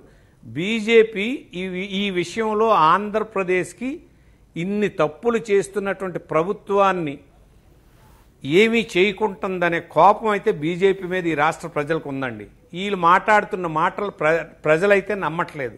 వాళ్ళు ఏదైనా యాక్షన్ తీసుకొని దీన్ని సరిదిద్దితే ఏమో చంద్రబాబు నన్ను వదిలేసి మొత్తం అమ్మ మనకు హోప్ దొరికింది వాడు స్ట్రాంగ్గా ఉన్నాడు ఈ ప్రభుత్వాన్ని పట్టుకొని చెండాలు ఓడగొడుతున్నాడు ఇవన్నీ ఇదిగో అమరావతి కట్టిస్తున్నాడు. పోలవరం ఫండ్స్ రిలీజ్ చేసాడు రావాల్సినవన్నీ హోంశాఖలో కూర్చోబెట్టి మాట్లాడి మన వాటా మనకు రావడం కోసం కృషి చేస్తున్నారని ఈ పనులేమీ చెయ్యకపోతే బీజేపీ మీద ఈ రాష్ట్రంలో పెద్ద హోప్ కలగడానికి అవకాశం లేదు. కానీ చాలామంది ఉన్నారు బీజేపీకి. పర్సెంటేజ్ ఆఫ్ ఓట్లు వదిలేయండి కానీ కమిటెడ్గా మన రాష్ట్రం కూడా బీజేపీ వస్తే బాగుందని కోరుకున్నటువంటి మేధావులు ఆర్ఎస్ఎస్ వర్గాలు కానివ్వండి చదువుకున్నటువంటి వాళ్ళు కొంతమంది ఉంది. కానీ ఈ ప్రభుత్వాన్ని ఏమీ చేయట్లేదని బాధ ఉంది. ఇంకా మీరు అడిగారు పవన్ పవన్ కళ్యాణ్ గురించి. పవన్ కళ్యాణ్ ఇప్పుడు బీజేపీని టార్గెట్ చేయాల్సిన అవసరం లేదు కానీ బీజేపీని ఏం అడుగుతాడు ఈ రాష్ట్రం గురించి? బీజేపీని ఏం డిమాండ్ చేస్తాడు ఈ ఎలక్షన్లో? మీరు ఎవరు మన రతన్ కుమార్ని గెలిపిస్తే బీజేపీతో ఈ పని నేను చేయించగలను ఈ రాష్ట్రానికి అని మనకున్నటువంటి నాలుగైదు అంశాల మీద మాట్లాడమనండి. మేము అమరావతి అక్కడ కట్టిస్తామని మాట్లాడమనండి. లేదా పోలవరం రేపే స్టార్ట్ చేయించి డబ్బులు ఇచ్చి ఒరిజినల్ డిజైన్ ఏదైతే ఉందో ఆ పదేడుగులు తగ్గించుకుంటా ఒరిజినల్ డిజైన్ కట్టించి పలానా రోజు గేట్లు ఎత్తి నీట్లు నీరిప్పిస్తామని చెప్పించమనండి. లేదా తెలంగాణ ప్రభుత్వాన్ని కూర్చోబెట్టి మేము కేంద్ర ప్రభుత్వం కూర్చొని ఈ రాష్ట్రానికి రావాల్సినటువంటి న్యాయమైన వాటాని వాళ్ళనుకుంటారు అన్యాయం జరిగిన దానికి ఇవ్వాల్సినటువంటి తెచ్చిస్తానని చెప్పమనండి. ఇవేమీ లేకుండా ఇంకేదో మాట్లాడుతున్నారు అనుకోండి మేము చంద్రబాబు నాయుడు జైల్లో పెడేస్తాం మేము జగన్మోహన్ రెడ్డిని జైల్లో పెడేస్తాం మాకెందుకు? మీరు ఎవరిని జైల్లో పెడితే? మాకు కావాల్సింది ఈ రాష్ట్రం బాగుపడడం కావాలని కోరుకుంటున్నారు ఈ రాష్ట్ర ప్రజలు. ఈ రాష్ట్ర ప్రజలకు అలాంటి అలాంటి భరోసా ఇస్తే బీజేపీ నాయకత్వం ఖచ్చితంగా ఈ రాష్ట్ర ప్రజలు రేపు అటు షిఫ్ట్ అవడానికి అవకాశం ఉందో తప్పించి ఊ కేవలం ఊరకనే రాజకీయ డ్రామా నడిపితే మాత్రం షిఫ్ట్ అవ్వడం కష్టం. అయితే ఇక్కడ ఒక్కటే బీజేపీ నాయకత్వం జగన్మోహన్ రెడ్డికి ఏమి డైరెక్షన్ ఇస్తుందని వెయిట్ చేస్తున్నాం. ఎందుకంటే మన పద్నాలుగో తారీఖు అండి సాంబశివరావు గారి ఎలక్షను. పద్నాలుగు అండి? పదిహేడు సార్. ఎస్ పద్నాలుగు. పదిహేడు. పద్నాలుగు అయితే పద్నాలుగుకి ఒక నాలుగైదు రోజుల ముందు బీజేపీ ఏం ఇన్స్ట్రక్షన్ ఇస్తుంది ఇక్కడ గెలవడానికి? జగన్మోహన్ రెడ్డికి నేను ఖచ్చితంగా డైరెక్ట్గా చెప్తున్నాను. ఏం ఇన్స్ట్రక్షన్ ఇస్తుంది? అనే దాని మీద అనే దాని మీద తిరుపతి తాలూకా బై ఎలక్షన్ రిజల్ట్ ఆధారపడి ఉంటుంది. ఏం డై బీజేపీ ఇవ్వడం ఏంటండి అని ఎవరు అనొచ్చు. నేను ఖచ్చితంగా చెప్పగలను. బీజేపీ డైరెక్షన్ ఏమిస్తుందో దాని ప్రకారం ఆ ఎలక్షన్ రిజల్ట్ ఉంటుంది. వాళ్ళ ఉద్దేశం ఏంటంటే జగన్మోహన్ రెడ్డిని పెట్టి చంద్రబాబు నాయుడిని థర్డ్ ప్లేస్కి పంపించి నీ పని అయిపోయిందని చెప్పి మేమిద్దరమే ఇక్కడ ఉంటాం అని చెప్పాలని ఒక ప్రయత్నం ఇంతకు ముందు ఉంది కానీ దాని తర్వాత రాష్ట్ర రాజకీయాల్లో చాలా మార్పులు వచ్చాయి. ఇప్పుడు జగన్మోహన్ రెడ్డి కంటే కూడా ఈరోజు ఈ ప్రభుత్వం వలన ఎన్ని నష్టాలు జరిగాయో ముఖ్యంగా బీజేపీకి వెన్నెముకగా ఉన్నటువంటి ఆర్ఎస్ఎస్ వాళ్ళు వేరే ఒక రిపోర్టు ఒక డిమాండ్ బీజేపీ ముందు పెట్టారు. మీరు ఇలాగే ఆ ప్రభుత్వం గురించి ఇలాగే మీరు ఏమి మాట్లాడుకుంటా ఉండుంటే ఉంటుంటే ఇది కొంత విషపరిణామాలకు ఆంధ్రప్రదేశ్లో పెరగడానికి మీరే బాధ్యులు అవుతారని ఒక రిపోర్ట్ అయితే ఆర్ఎస్ఎస్ పెద్దలు వారు ఇచ్చారు. చిన్న బ్రేక్ చెప్పండి సాంబశివరావు గారు. లేదు ఒక చిన్న కమర్షియల్ బ్రేక్ తీసుకొని మళ్ళీ మీ దగ్గరికి వస్తాను.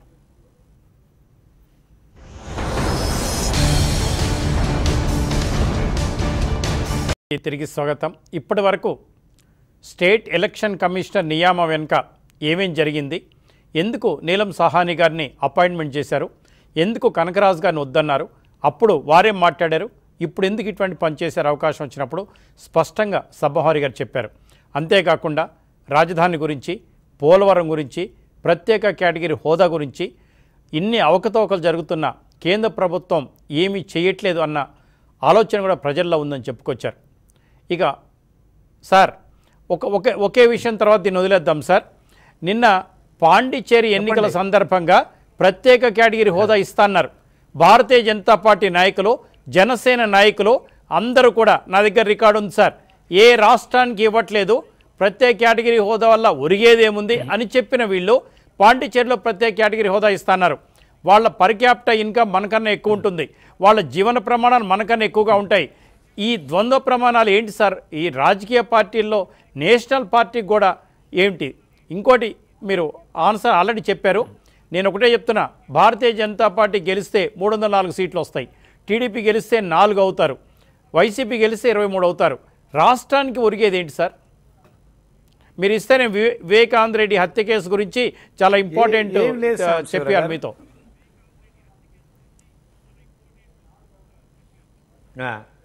అంటే ఇప్పుడు ఈ విషయంలో మనకి చాలా క్లియర్గా మీకు యానాం గురించి ఏం మాట్లాడారో ఆంధ్రప్రదేశ్ గురించి అంతే క్లియర్గా మాట్లాడారు. నిన్న అభ్యర్థి కూడా మాట్లాడింది నేను చూశాను. అది ముగిసిపోయిన అధ్యాయం. దాని ప్లేస్లో ప్యాకేజ్ ఇచ్చాం. దాని గురించి మాట్లాడొద్దు. అంతే.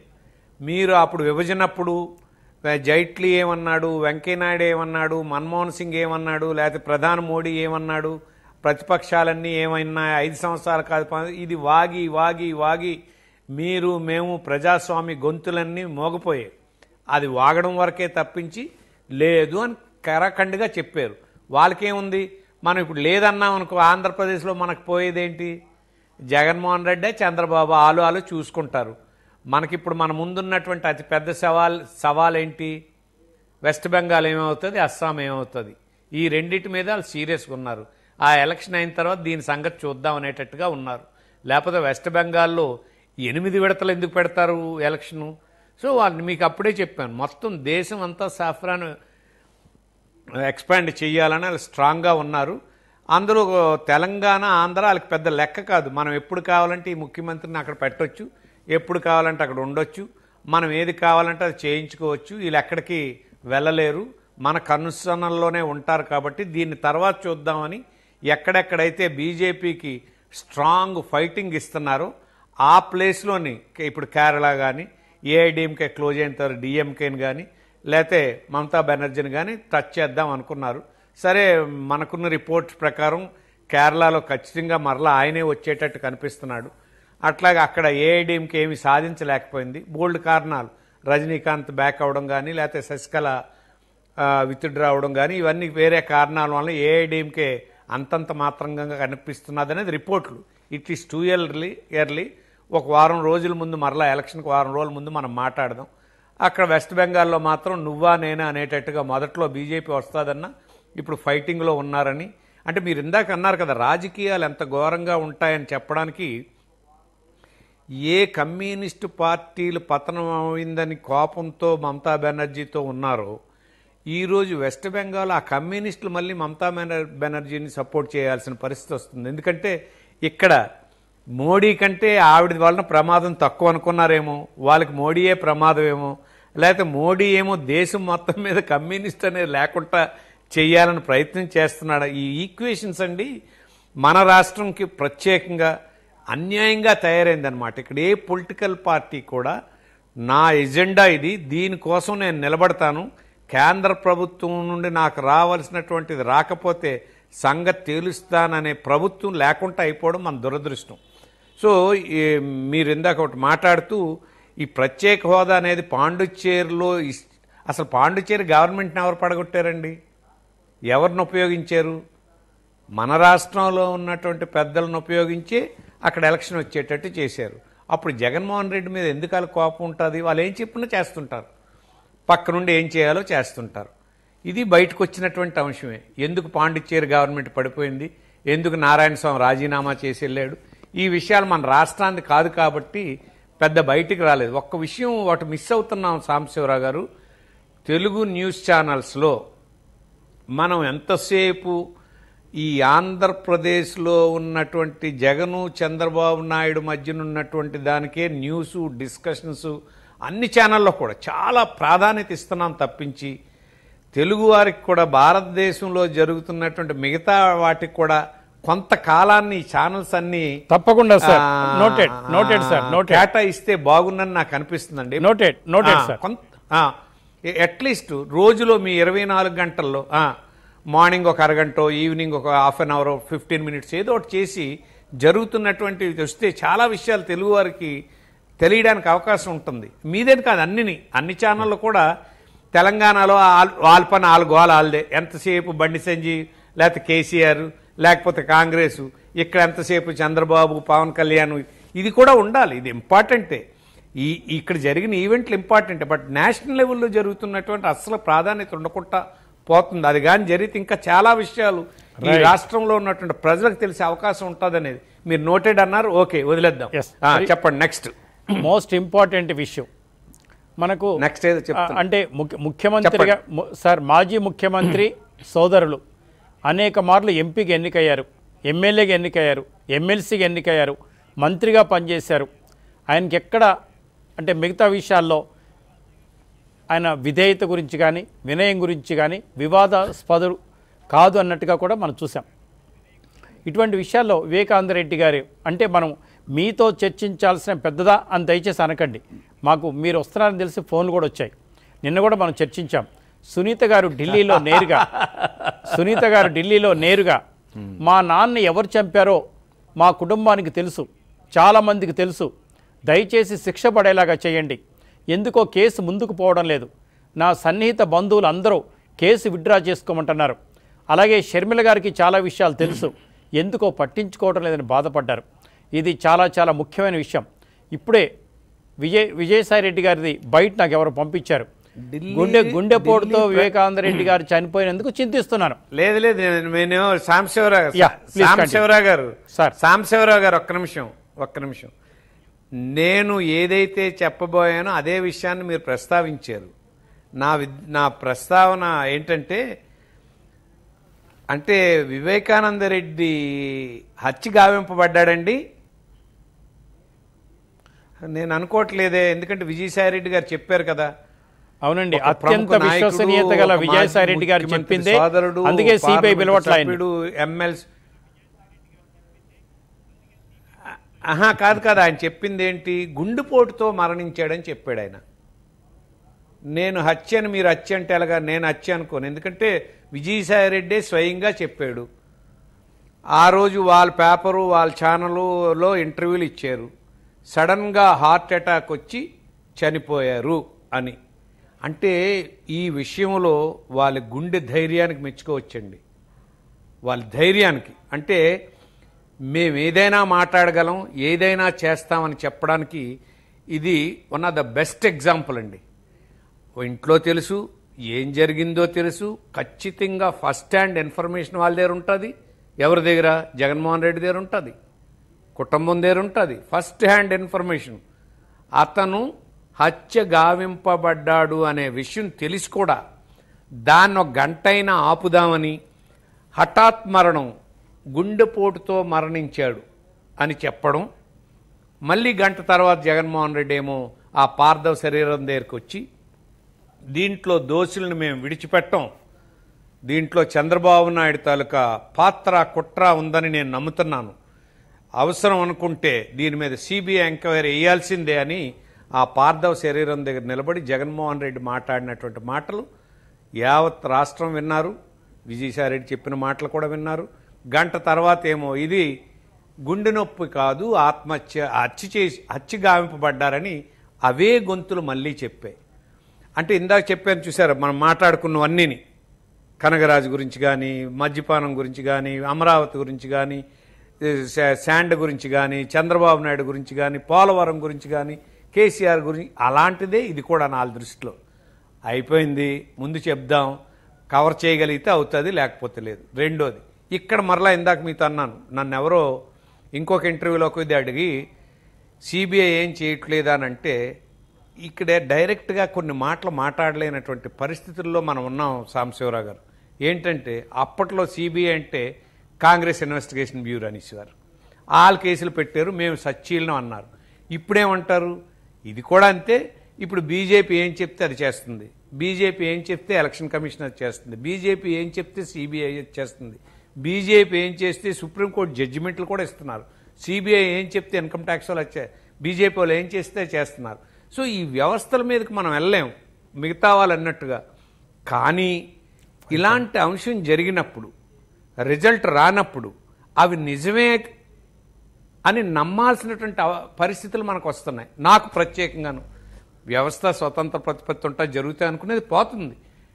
ఎందుకనంటే స్వయంగా తన చిన్నాన్న సరే అతను కాంట్రవర్షియలా కాదా అని అంటే దేశంలో ఆయన కాంట్రవర్షియల్ కాదు. రాష్ట్రంలో కాంట్రవర్షియల్ కాదు. అట్లాగే కాంగ్రెస్ పార్టీకి సంబంధించి కాంట్రవర్షియల్ కాదు. నాకు తెలుసు బాగా. మేము చాలా సందర్భాల్లో కలిసి మాట్లాడుకున్నటువంటి చాలా అంశాలు ఉన్నాయి ఇప్పుడు అప్రస్తుతం అవి. సో ఎట్టి పరిస్థితిలో కూడా అతను కడప వరకే ఎక్కువ ఉండేవాడు. ఎవరు? బ్రదర్ ఉన్నంత వరకు రాజశేఖర రెడ్డి ఉన్నంత వరకు అతను కడప దాటి బయటికి రాలేదు. రాజశేఖర రెడ్డి మరణానంతరమే అతను ఎమ్మెల్సీ అవడం మినిస్టర్ అవడం తప్పించి అంతవరకు రాజశేఖర రెడ్డి ఎంపీ అయితే అక్కడ ఎమ్మెల్యేగా కూర్చోడు. ఆ రాజశేఖర రెడ్డి ఎమ్మెల్యే అయితే ఎంపీగా వచ్చి కూర్చోవడం తప్పించి తను రాజకీయాలన్నీ చే- రెడ్డి ఏం చెప్తే అలా నడుచుకోవడం వివేకానంద వివేకానంద రెడ్డి తాలూకా పొలిటికల్ లైఫ్ నాకు తెలిసి. జగన్మోహన్ రెడ్డి వచ్చిన తర్వాత ఒక స్టోరీ కూడా బయటకు వచ్చింది. అది అంతవరకు నిజమో నేను కాదు. అరుణ్ కుమార్ని ఒకసారి నవ్వుతూ చెప్పాడు. ఏదో ఒక స్టోరీ వచ్చిందని. నేను ఎంపీగా ఉండాలి కాబట్టి నువ్వు రాజీనామా చేస్తే తప్పించి అవదని చిన్నాన్న అడిగాడని ఆ విషయం సోనియా గాంధీకి తెలిసిందని సోనియా గాంధీ వివేకానంద రెడ్డిని పిలిచి నువ్వు ఎట్టి పరిస్థితుల్లో ఎంపీ రాజీనామా చేయడానికి వీల్లేదు నువ్వు కాంగ్రెస్ ఎంపీ కాంగ్రెస్ పార్టీ మేము టికెట్ ఇస్తే నువ్వు నిలబడ్డావు కానీ కుటుంబాల గురించి రాజీనామా చేస్తే అలా వీల్లేదని చెప్పారని. ఇది చిన్న స్టోరీ కానీ నమ్మడానికి వీలుగా జరిగినటువంటి అంశమే. సో అది ఉన్నాడు. ఈ లోపటేమో రాజశేఖర రెడ్డి గారి మరణం తర్వాత జగన్మోహన్ రెడ్డి అక్కడి నుండి ప్రతి పార్టీ నాకు చాలా విషయాలు అసోసియేట్ అయ్యాను జగన్మోహన్ రెడ్డితో. రాజశేఖర రెడ్డి చనిపోయిన తర్వాత జరిగిన అనేక సంఘటనలు ఎలక్షన్ ముందు వరకు చాలా విషయాలు తీసుకు బట్ వివేక మాత్రం ఎప్పుడు ఎక్కడ పొలిటికల్గా నెగిటివ్గా తెచ్చుకునే సందర్భాలు లేవు. ఆ రోజు కూడా ఇతను పార్టీ పెట్టినప్పుడు కూడా పార్టీ ఆదేశాంతసారం వదిన మీద కంటెస్ట్ చేశాడు ఆయన. పార్టీ చెప్పింది నువ్వు నిలబడాల్సిందే అని.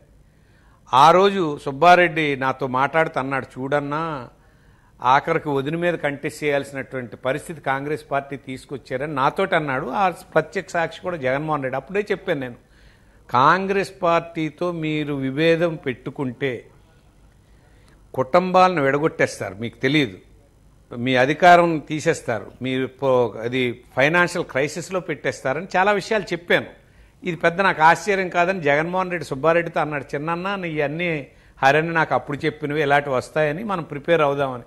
కానీ అతను తెలుసు రాజశేఖర రెడ్డి మరణం తర్వాత విజయలక్ష్మి గారి మీద కంటెస్ట్ చేస్తే గెలుస్తాడండి. ఎట్టి పరిస్థితిలో గళ్ళు వివేకానంద రెడ్డి. ఆ తండ్రి మరణం తర్వాత రాష్ట్రం అంతా ఉ- ఒక ఉప్పినలాగా వచ్చింది రాజశేఖర రెడ్డి మీద సానుభూతి. అయినా పార్టీ ఏం చెప్తే అది చేయాలని నిలబడ్డాడు. సరే అది పెద్ద ఇష్యూ కాదు. ఈ విషయంలో ఒకటైతే ఖచ్చితంగా చెప్పగలను సాంబశివరావు గారు ప్రత్యర్థులు ఖచ్చితంగా ప్రభుత్వానికి తెలుసు. ప్రభుత్వంలో ఉన్నటువంటి వాళ్ళు ఎవరెవరు జరిగిందనేది ప్రభుత్వానికి తెలుసు. ఇదే కానీ ఇంకెవరైనా తెలుగుదేశంలో ఎవరైనా ఉంటే ఒక్క నెల రోజుల్లో తీసుకొచ్చి రోడ్డు మీద పెట్టేవారు. లేనటువంటివే కేసులు పెట్టి రోడ్డు మీద తేడానికి ప్రయత్నం చేస్తుంటే వీళ్ళు ఉండరా అని. ఇది కుటుంబం మధ్యన జరిగినటువంటి రాజకీయం కాదండి. కుటుంబం మధ్యన జరిగినటువంటి వ్యవహారంగా నేనైతే నమ్ముతున్నాను.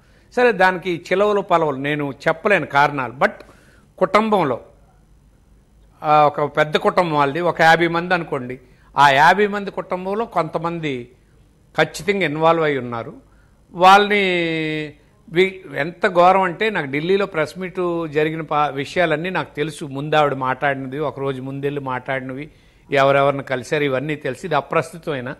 ఈ విషయం షర్మిలకు కూడా తెలుసని నాకు చూసారా దట్స్ ఇనఫ్ అంటే ఇక్కడ ఈ ప్రభుత్వం ఎంతగా ఎంత ఎలాంటి విషయం అంటే నాకు సంబంధించి నేను సేఫ్గా ఉండడం కోసం నా సొంతం బ్లడ్ రిలేషన్ దూరంగా ఉన్న ఎవరిని కూడా నేను కా అంటే నేను అనుకుంటే ఎవరినైనా కాపాడుతాను నేను యా- కాదనుకుంటే ఎవరినైనా దూరం పెట్టగలనని చెప్పడానికి ఇది ఒక ఉదాహరణగా నేను చెప్పగలనండి. ఏది వివేకానంద రెడ్డి తాలూకా హచ్చిన్ సరే ఎన్నాళ్ళు చేయగలరు ఎన్నాళ్ళు చేయగలరు అంటే ఎన్నాళ్ళు అధికారంలో ఉండి ఎన్ని రోజులు ఆ విషయం బయట రాకుండా ఉండగలడానికి చేయగలరు అన్నాళ్ళు చేస్తారు.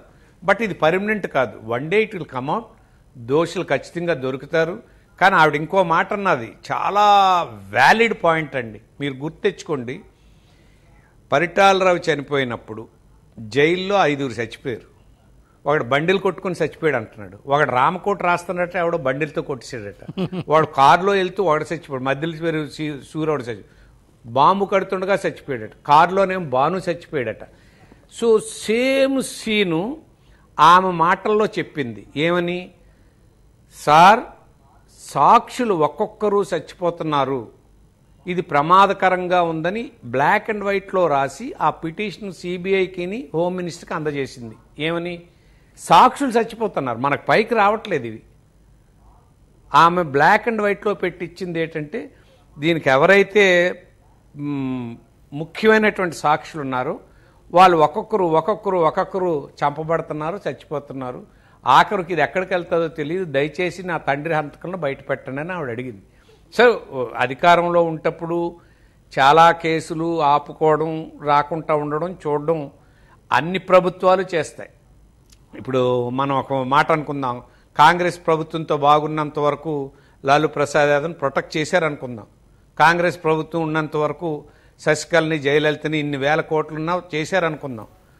అట్లాగే మాయావతి మీద అట్లాగే కన్నిమల మీద అట్లాగే రాజా మీద కేసులు పెట్టాలి ఉంచారు అనుకుందాం వచ్చాక ఏమైంది? ఈ ప్రభుత్వం చాలా క్లీన్ చిట్ ఇచ్చింది కొంతమందిని జైలు శిక్ష చేసింది. సో ఈ వ్యవస్థల మీద నమ్మకం కలిగేటట్టుగా జరిగే ప్రభుత్వాలు కనిపించట్లేదని నేను చెప్పగలను సాంబశివరావు గారు. ఎన్నో కేసుల్లో ఇదొకటి అవుతుందా? లేకపోతే ఈ కేసులో నిజాలు బయటకు వస్తుందా మనం వెయిట్ చేసి చూడాల్సిందే తప్పించి నేరుగా మనం ఎవరి మీద. నేను నేను చివరిగా నింద ఆపాదించదు ఆ, నేను. చివరిగా ఒకటి అడుగుతాను సార్. చంద్రబాబు నాయుడు గారు ఒక స్టేట్మెంట్ ఇచ్చారు ఒక కేసు విషయంలో. డీజీపీ గారు నోటీస్ ఇచ్చారు. ఈ విషయం మీకు ఎలా తెలిసింది? వచ్చి సాక్ష్యం చెప్పమని. మరి గుండె నొప్పితో చనిపోయారని చెప్పిన గౌరవనీయ విజయసాయి రెడ్డి గారికి ఇంతవరకు మరి నీకు ఎలా తెలిసింది? నువ్వేమన్నా డాక్టర్వా? డాక్టర్ టెస్ట్ చేశాడా? ఎవిడెన్స్ ఇవ్వమని ఇంతవరకు అడగల? అంటే ఇక్కడ మీతో నేను డిఫర్ అవుతాను సాంబశివర గారు మీతో. డిఫర్ అవుతాను. ఎందుకంటే నాకెవరో ఇన్ఫర్మేషన్ ఎందుకంటే నాకు ఎవరో ఇన్ఫర్మేషన్ ఇచ్చారండి గుండెపోటుతో చనిపోయారని నేను చెప్పేశాను. ఓకే. తర్వాత ఐ కేమ్ టు నో ఇలా జరిగిందని మేము వెళ్ళాక తెలిసిందని చెప్తాడు ఆయన. అంటే అక్కడ చెప్పడానికి అవకాశం ఉంది. నేను హైదరాబాద్లో ఉన్నాను నాకు ఎవరో చెప్పారు. తర్వాత ఐ కేమ్ టు నో తీస్తాను సో ఆ రోజు కూడా అన్నాను కదండి జీజీపీ అంటే నేను అన్నాను కదా పొగరుతో అంటే నా ప్రభుత్వం నాకు నాకు అండగా ఉందని పొగరుతో ఆ నోటీస్ ఇచ్చారని ఆ పదం వాడాను మీకు గుర్తుందో లేదా అది తప్పది. వాళ్ళు చేసింది తప్పు. సో ఇక్కడ. ఇవ్వలేదంటే ఇలా చెప్పొచ్చు. దానికి అవకాశం ఉంది. ముందు రైట్. చెప్పండి. లేదు మనం any concluding remarks no no no మీరేమని అడిగితే చెప్తాను. మీరేమని అడిగితే. నో మోర్ సార్ ఇప్పుడు తిరుపతి ఎన్నికల గురించి చెప్పారు. ప్రత్యేక కేటగిరీ హోదా గురించి చెప్పారు. పోలవరం గురించి చెప్పారు. రాజధాని గురించి చెప్పారు. విభజన చట్టాల గురించి చెప్పారు. వివేకానంద రెడ్డి హత్య కేసు గురించి చెప్పారు. ఎస్సీసీ చెప్పారు, కనకరాజు గారు నియామకం చెప్పారు.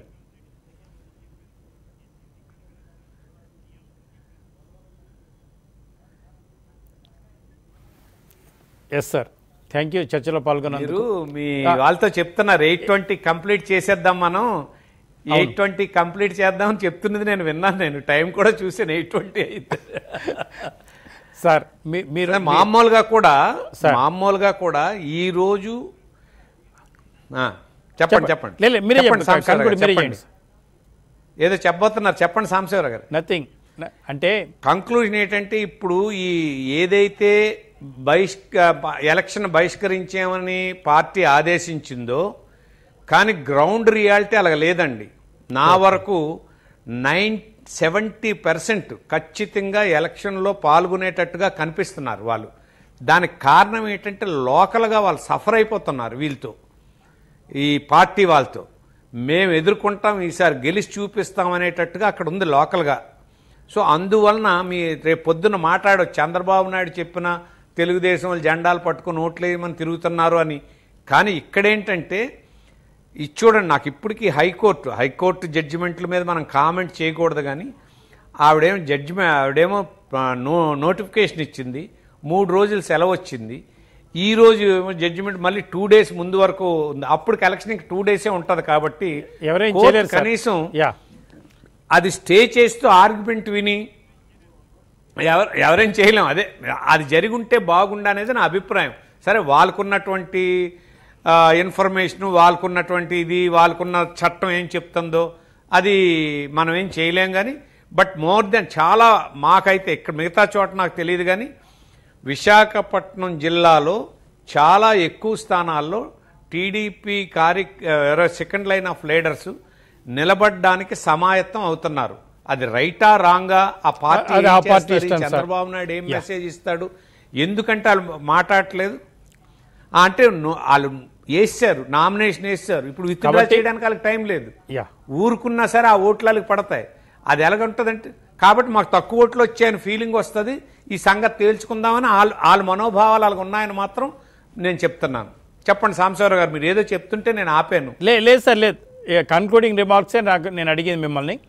థ్యాంక్ యూ చర్చలో పాల్గొన్నందుకు అనేక విషయాలపై స్పష్టంగా అభిప్రాయాలు కూడా చెప్పినందుకు.